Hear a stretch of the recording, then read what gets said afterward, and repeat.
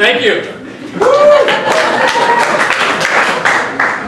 This is my friend Kal Penn. Uh, this is John Cho.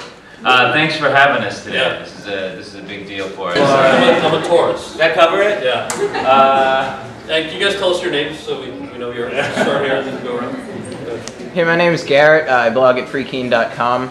Uh, my question deals with uh, the recent uh, increase in power in the executive to do things that historically have been able to be done.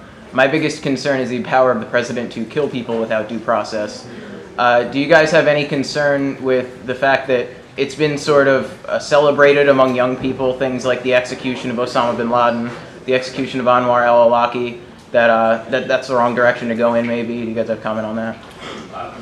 I don't have a, go ahead. Hey guys, um, if you can, we can help you with that question. Yeah, do you have a policy, folks that can? Yes, Great, we have, yeah. a- I, come speak to me afterwards. If you guys have any specific policy questions, um, come speak to me afterwards and I can direct you to the right people at the committee. This is what happens when I didn't work for the National Security Council, is I'm not equipped to answer questions like that. More, more youth-focused stuff is what I work on, it's a good, good question.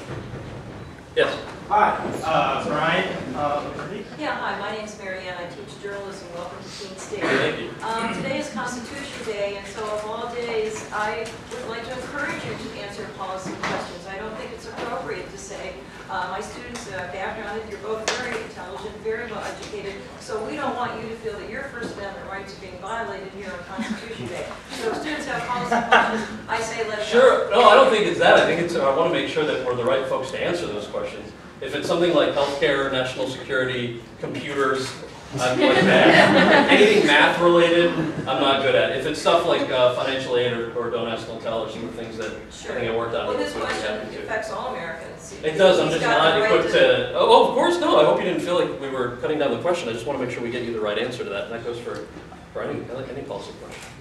In the back. So this is Garrett at the Harold and Kumar event at Keene State. As you can see, this place is pretty packed.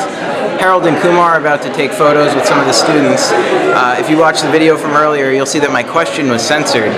So I got contact information uh, for the Obama office where I was told I could get an interview with someone on Obama's policies that I asked about.